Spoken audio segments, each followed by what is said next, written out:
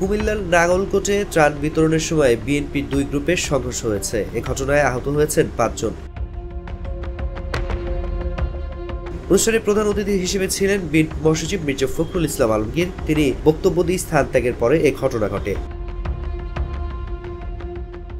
এতে যুবদল নেতা মোহাম্মদ সাইফুল আলম, সাত নম্বর ওয়ার্ড যুবদলের প্রচার সম্পাদক শাহাবুদ্দিন সহ অন্তত পাঁচজন আহত হয়েছেন। প্রত্যক্ষদর্শীরা জানান, অনুষ্ঠানের শেষ পর্যায়ে উপজেলা বিএনপি সভাপতি নজির আহমদ ভুইয়া বক্তব্য দিচ্ছিলেন। এ সময় নাগলকোটের সাবেক সংসদ সদস্য আব্দুল গফুর ভুইয়ার লোকজন ভুয়া ভুয়া স্লোগান দিতে থাকেন। এক পর্যায়ে নজির ভুইয়ার লোকজনের সঙ্গে তাদের সংঘর্ষ হয়।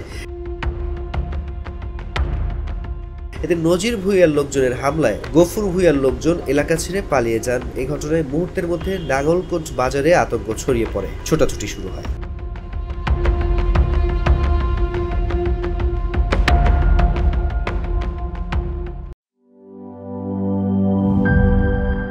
র্যাকটা তো অনেক সুন্দর।